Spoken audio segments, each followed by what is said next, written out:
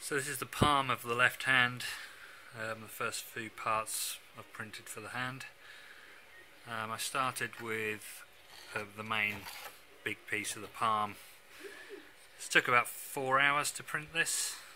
Uh, it's quite interesting. It's got um, 15 tubes running through the whole thing. So th through from the wrist, you can actually just see them in the transparent print. Um, there's three tubes going down to each finger and three to the thumb. So it's quite a clever design. Um, there's holes in the uh, finger joints, they'll need to be drilled out.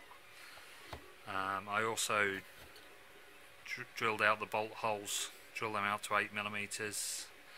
Um, I did quite a bit of sanding in here to make to make it smooth. My printer is really not giving good results at the moment, so I'm getting some very rough edges.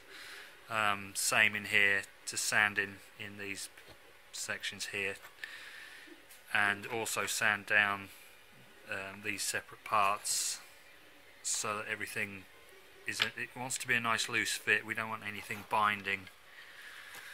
Um, I'm also intending to paint all of these and the paint will add a little bit of thickness.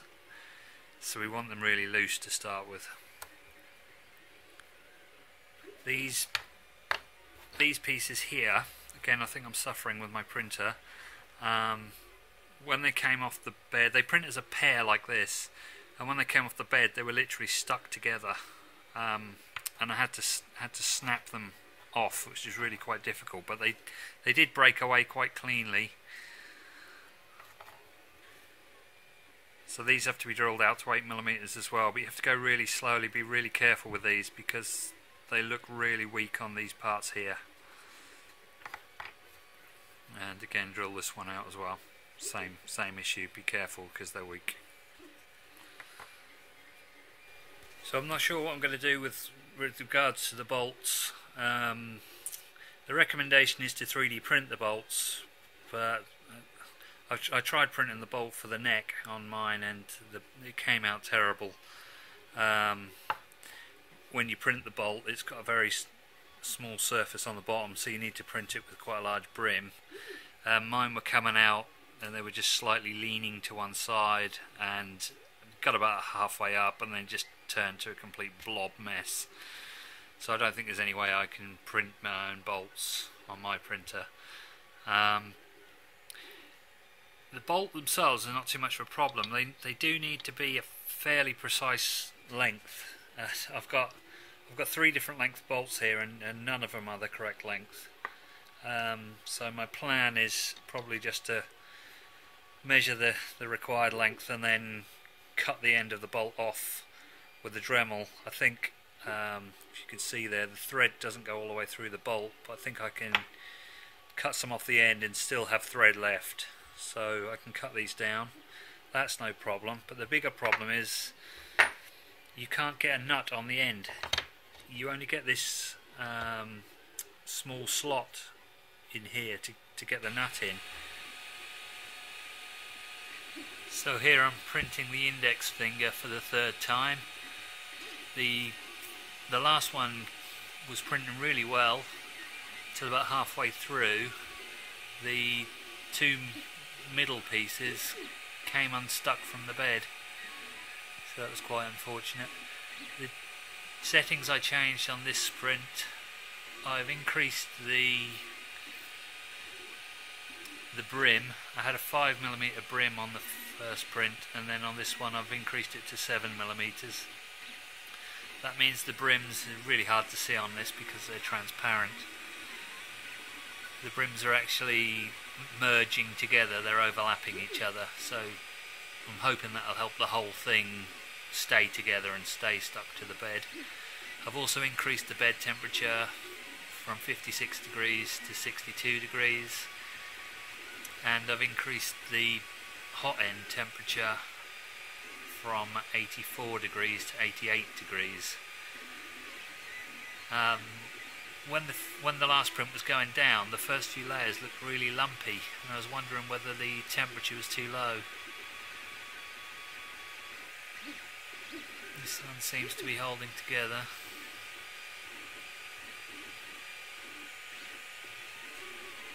Okay, this is the index finger as it's come off the printer. It's all in one piece because of the the brims that were added. Um, that helped to hold it together. As I said, the first, the previous one I printed, um, these centerpieces uh, come away from the bed in they sort of flipped up this way. Um, with the the brims holding the pieces together, it just gives everything just a little bit more adhesion to the bed. Um, I've got the next finger coming off the printer now. Um, the next stage with this one is just to clean those brims off, um, just sand them a little bit. Um, I'm not sure if I'll assemble it first and then paint it, or maybe put a coat of primer on it and, and then assemble it. I'm not sure. So one one thing I am suffering from on this um, new Creality CR10 printer, the printer is superb. These parts are really coming out nice, but I'm suffering from stringing. You can't see it in this. I don't think you can see it. Maybe you can see it a little bit. Yeah, I've, I've tried to dial out the, the stringing on the printer. I've I tried lowering the temperature, but I think that was a mistake because I started to get the the nozzle started to seem to clog up and the filament just wasn't coming through at the lower temperatures. So I put the temperature back up again. Um, the retraction setting seemed to be the biggest improvement, but I had to go right up to six and a half millimeters retraction. Um, I'm not sure how the retraction speed um, affects the stringing. I'm not sure if you should increase the retraction speed or lower the retraction speed. So if anyone could give me any advice on how I can get rid of this stringing, uh, please leave comments below. The next stage is to just clean these parts up a little bit, sand them a bit. Um, the pieces glue together, I need, I need to figure out which pieces glue to which pieces um, and then drill out these holes um, where the, the joints go. The, the holes have come out really clean but I will just run a drill through them and then use some 3mm filament to create the hinges.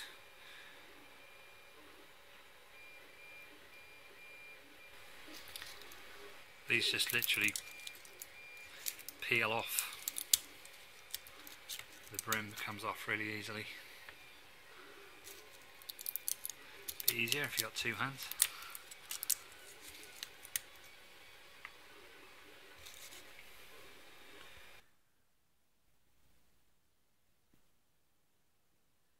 These are the fingers at various different stages.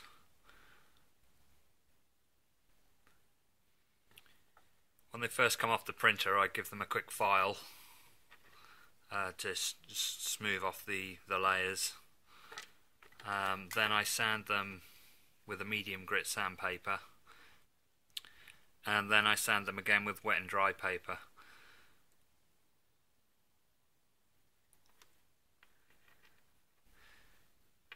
I then prime them um, with a high build primer which again helps to fill the layers in.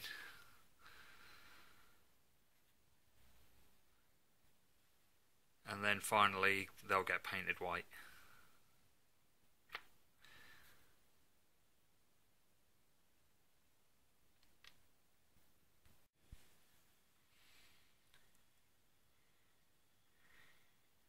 Here I'm painting some of the finger pieces. I strung them on a line because I found um, putting them on a flat surface and spraying them with the spray paint was blowing them around and the paint was sticking to everything so this seems to work better although I'm going to need quite a few coats of paint. Here we have the thumb. I believe I'm putting these together correct. So this piece I've super glued together.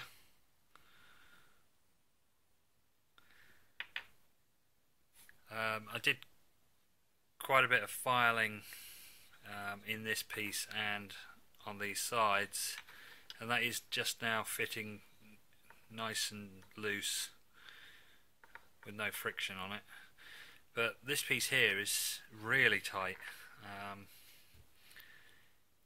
this joint here just doesn't seem to want to fit in. So I filed it loads already, but I'm still going to have to file it even more. And then finally we have the, the tip of the thumb. And then this will all have to be painted.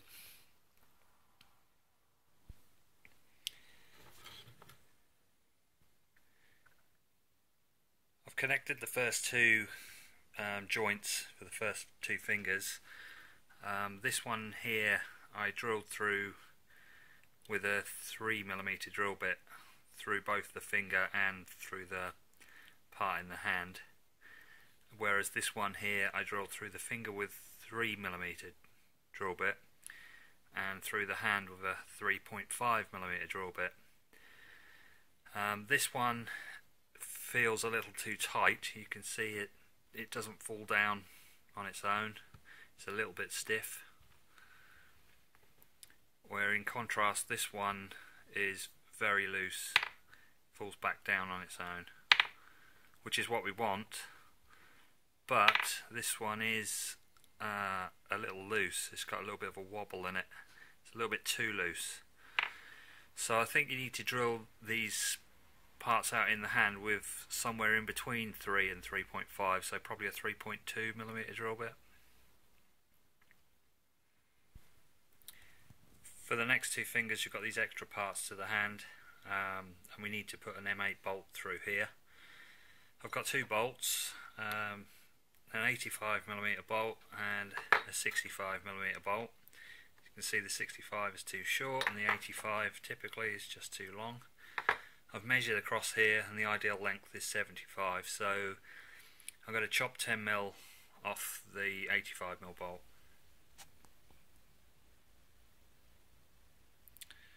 So I've now got all the fingers on and the thumb um, and I've started to run the fishing line uh, down the th fingers th and through the tubes. Um, I've left probably six or seven hundred millimeters, probably more actually, probably about a meter of uh, length on that. Um, I've tied knots on the on the end so they don't pull through probably tie them both together as well so they don't slip around and super glue them to the tips. Um, I use 3mm filament on the on the joints. Um, this is probably about as far as I'm going to go for now. Um, some of this is going to have to be reworked because I've tried pulling these strings and the fingers are not operating that well. Um, some of the joints are quite loose um, but others are stiff so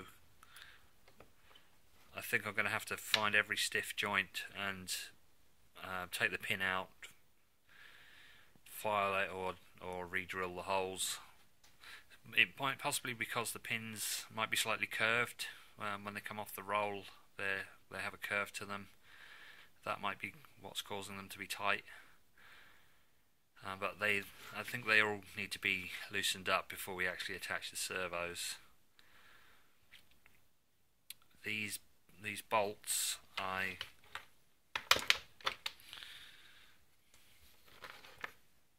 so is the other side. Um,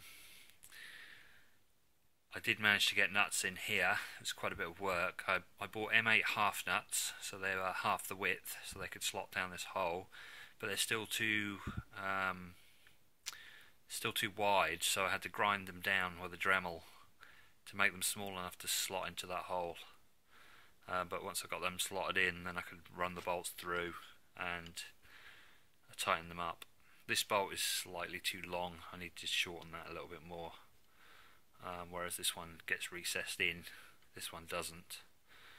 Um, probably can't see that. There's a, there's a small gap there um, so it probably doesn't matter, but just to get it to look a little bit better, I want that bolt in there a little bit further. Um, yeah, that's that's about it for now. Um, I'll have to come back and revisit this hand and print the covers and glue the fingertips on. Okay, that's about it for now. Thanks for watching. I'll see you soon in the next video.